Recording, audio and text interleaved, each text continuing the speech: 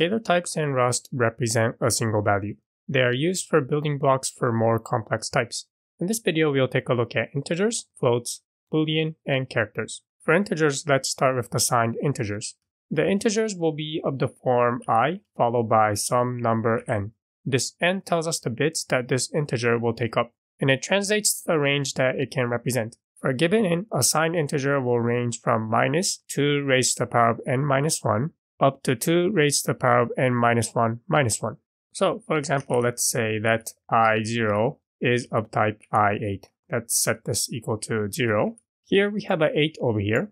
So this will range from minus 2 raised to the 8 minus 1 up to 2 raised to the 8 minus 1 minus 1. 2 to the 7 is 128, so this will be minus 128. And it goes up to 2 to the 7 minus 1. 2 to the 7 is 128. 128 minus 1 is 127. We also have I16, 32, 64, and 128. A easy way to remember this is starting from 8, we multiply by 2. So the next one will be, let's say I1. I16 is equal to, let's say 1. And then the next one will be, let's say I32. 16 multiplied by 2 is 32, so it will be I32 and the next one will be, let's say, 64. And the last one will be 128.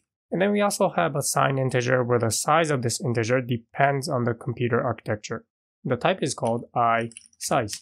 I'm going to name this variable i5 is equal to isize, and let's just set it equal to 1. The size of this variable depends on the computer architecture. If your computer is a 32-bit architecture, then this isize will be i32. If it's 64 bits, then this will be i64. Okay, let's move on to unsigned integers. They follow a similar pattern to signed integers, where the type will be of the form u followed by n, where n will specify the amount of bits that this unsigned integer will occupy. So let's say that u0 of u8 is equal to 1, and then we can also have, let's say, u1 of u16, u2 of u32. Let's name the next one U3, 64, and 128. The range on unsigned integers are from 0 up to 2 to the n minus 1. So for U8, this will range from 0 to 2 to the 8 minus 1. 2 to the 8 is 256, so 2 to the 8 minus 1 will be, this will be equal to 255. And like isize, we also have usize, where the range that it can support depends on your computer architecture. So let's say that U5 is equal to usize. Let's set this equal to 1. This usize you'll encounter when you're dealing with for loops, arrays, and vectors. Basically, they're used for indexes of arrays and vectors. Okay, moving on, we have floats floating numbers, let's say that f0 of type f32 equals 0.01, and we can also have f64 also equal to 0.01. And then we have boolean, so let's say that b of type boolean equals true. And then characters. Let's say that c of char equals to single quote c.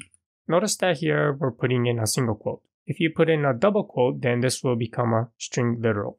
Characters can be any valid Unicode, so we can also put an emoji here. So let's say that e is equal to char, and I'll put an emoji for a crab here. Both of these are valid characters. Okay, so these are some scalar types. Next, I'm going to talk about type conversions, min and max, and overflow. Let's start with type conversion. So let's say that i of type i32 equals, let's set this equal to 1, and I want to convert this i32 into a u32. Then you can do this by saying that u of type u32 is equal to i. Now notice i at the moment is of type i32 and I want to convert this into a u32. Then you can say something like i as u32.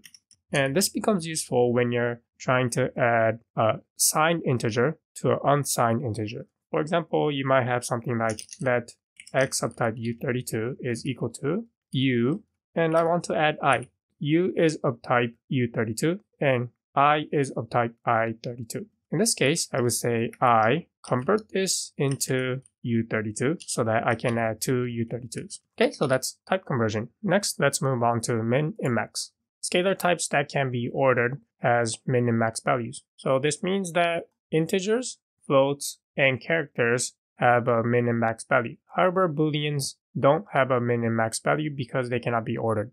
For example, it doesn't make sense to ask the question, is true greater than or equal to false? To get the min and max value, for example, let's get the min and max value for i32.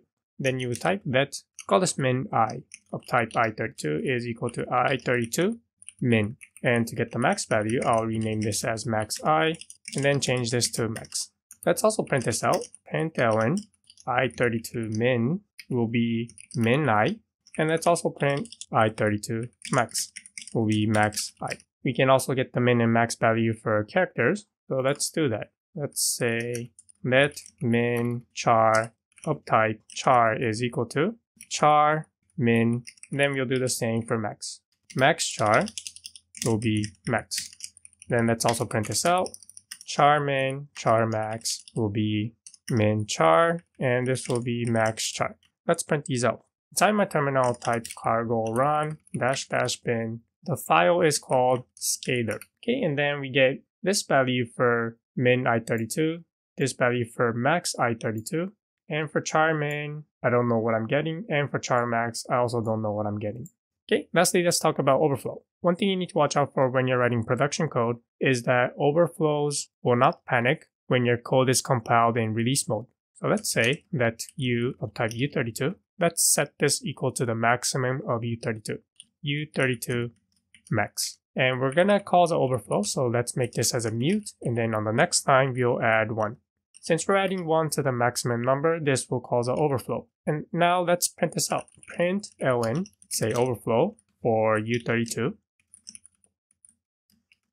Inside the terminal, let's run the command again. And notice that the code panics over here. However, if we run this command again with the release flag, so this will mean that the code will run in production mode, notice that it doesn't panic. After the number overflows, it just returns a zero. So when you're writing production code, you'll need to be aware of overflows. There's two ways to handle this. A built-in function called checked add and wrapping add. Checked add will wrap the result in a data type called option. This data type called option can take two values, Some, and inside this Some, you'll have the result of the addition, or if the result calls the overflow, it will return none. The other function is called wrapping add which will explicitly allow overflows. Let's start by looking at check add. So let's say u32 check add, and let's add u32 max with 1. That u equals, and let's print this out. Print ln check add. Since we're adding 1 to the maximum of u32, this will cause an overflow. So the result that we'll get will be none. Let's also call a function wrapping add. So let's say that u is equal to u32 wrapping add Let's do addition of u32 max with 1 again. This will again cause an overflow, but this time you will not get a none. Wrapping add. Okay, let's run the code again. First I'll run the command without the release flag. And then it panics. Let's run the code again with the release flag. Okay, the code did not panic, and we got checked add equals none and wrapping add equals zero. How about if we add some number that doesn't overflow? So for example, let's add 1 with 1 and then let's execute the command again. And this time we get checked add returns Some 2.